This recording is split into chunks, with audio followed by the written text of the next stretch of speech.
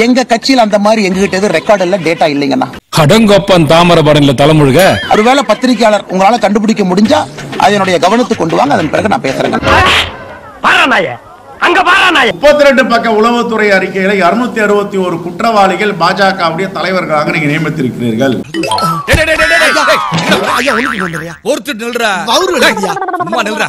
எத்தனை ஒரு பஞ்சாயத்தடா முடிச்சு வச்சு? பாரு நமக்காக அம்பட்டு போலும் புள்ள குட்டியோட வெயில்ல காத்து கிடக்குறாங்களே. இது மட்டும் இல்லாம பாஜக தொடர்ச்சியா சமூக விரோதிகள் வந்து சேர்க்கப்படுறதா உங்க கட்சியை சார்ந்த தமிழிசை சவுந்தரராஜன் அவர்களே வந்து அது மாதிரி இன்னொன்று கட்சியில் எனக்கு ஒரு சின்ன வருத்தம் என்னன்னா நிறைய சமூகத்தில் நாலாம் கட்சியில் இருக்கும்போது சில யார்ட் ஸ்டிக் வச்சுருந்தேன். அவங்க மேலே சமூக விரோதிகள் மாதிரி இருந்தாங்கன்னா அவங்கள நான் ரொம்ப என்கரேஜ் பண்ண மாட்டேன். சில பேர் இப்போ சமீப காலத்தில் நிறையா சமூகத்தில் சில குற்றம் சாட்டப்பட்டவர்கள் அதிகமாக இருக்கிறது சில மாவட்டங்களில். இல்லை கட்சிக்கு பதவி கிடைத்தவர்கள் அவங்க பதவி கிடைத்தவர்கள் அதெல்லாம் தவிர்த்து இன்னும் கட்சியில் கடுமையாக உழைக்கக்கூடிய தொண்டர்களுக்கு அதிகாரம் கொடுத்து அங்கீகாரம் கொடுத்து நினைக்க நீ போன திரும்ப பிறந்தியா இல்ல இப்படி ஆப்பு சிவி சிவி வைக்கிறியா? அதான் கேட்டேன். ஒருவேளை பத்திரிகையாளர் உங்களால கண்டுபிடிக்க முடிஞ்சா அது என்னுடைய கவனத்துக்கு கொண்டு வாங்க அதன் பிறகு நான் பேசுறேங்க செருப்பெல்லாம் வெளியே விட்டோம்னே. ஆயிரத்தி தொள்ளாயிரத்தி எழுபத்தி ஏழு வழக்கு. எவ்வளவு வழக்கு? ஆயிரத்தி தொள்ளாயிரத்தி எழுபத்தி ஏழு வழக்கு. இவர் என்ன ஐபிஎஸ் ஆபீசர் கர்நாடகால என்ன வேலை பார்த்திருப்பாரு? ஏய் ஏய் என்ன சொல்ல சொன்னா என்ன சொல்லிட்டு இருக்க? என்னடையா என்ன கே கூன்றான் என்னங்க? நீ ஒண்ணும் சொல்ல போ. கர்நாடகால சட்டம் ஒழுங்கு கெட்டு போனதுக்கும் கர்நாடகாவுல கல்புர்கி எழுத்தாளர்கள் கௌரி லிங்கேஷ் இவர்கள்லாம் பின்னணியில யார் இருக்காங்க இனிமே தான் ஆய்வு சொல்ல போறேன். கர்நாடகா உடைய அரசு கிட்ட கேட்க போறேன். என்ன இங்க வேற மாதிரியா இருக்கு? பூனை விட்டுட்டு புலி பிடிச்சிட்டோம்னா பாஜக. சொன்ன உடனே ஒரு காவி கூட்டம் தீப்பந்தத்தோட ஒரு வீட்டை கொளுத்துற காட்சி தான் நினைவுக்கு வருது.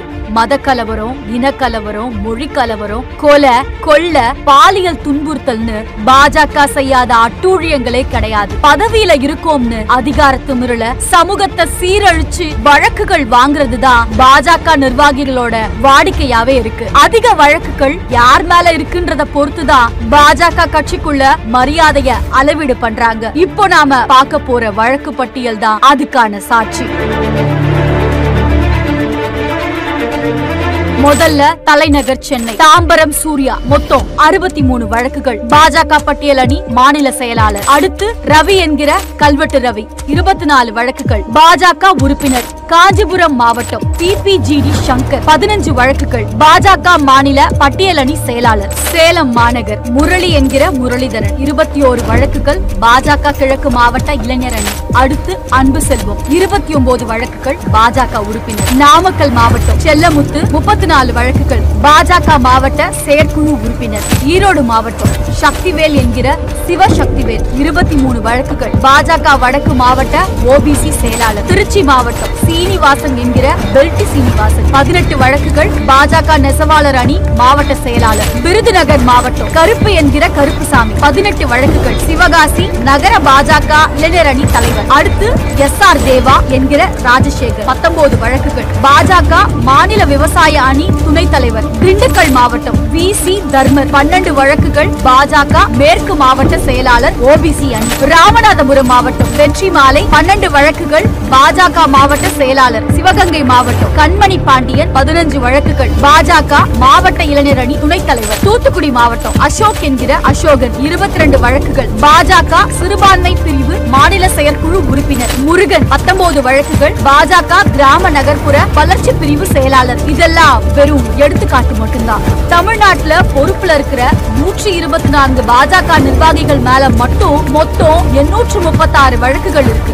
இன்னும் பொறுப்புல இல்லாத பாஜக நிர்வாகிகள் மேல இருக்கிற வழக்குகள் எத்தனை? மத்த மாநிலங்கள்ல இருக்கிற பாஜக நிர்வாகிகள் மேல இருக்கிற வழக்குகள் எத்தனை? இந்தியா முழுக்க இருக்க பாஜக நிர்வாகிகள் மேல இருக்கிற வழக்குகள் எத்தனை? இதெல்லாம் கணக்கெடுப்பு எடுத்தா எண்கள் பத்தாது. இப்படிப்பட்ட பாஜகவை தான் நம்ம நாட்டுக்குள்ள ஆள விட்டு வேடிக்கை பார்த்துட்டு இருக்கோம். ஆனா காலம் மாறும் திரும்பவும் தேர்தல் வரும்.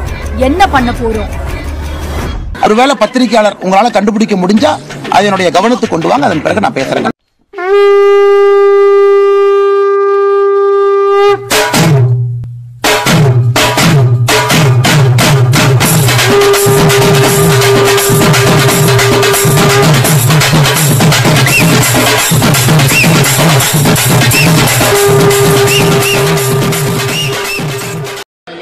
हमने रोड बनाने में स्पेस टेक्नोलॉजी का उपयोग किया स्पेस टेक्नोलॉजी से फोटोग्राफी होती है मॉनिटरिंग होता है। मैं नहीं मानता मोदी की कुछ सोच ही अलग है। A few moments later.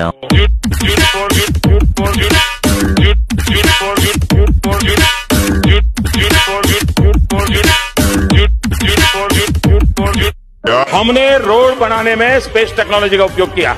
अगर हम करें तो करें क्या बोले तो बोले क्या?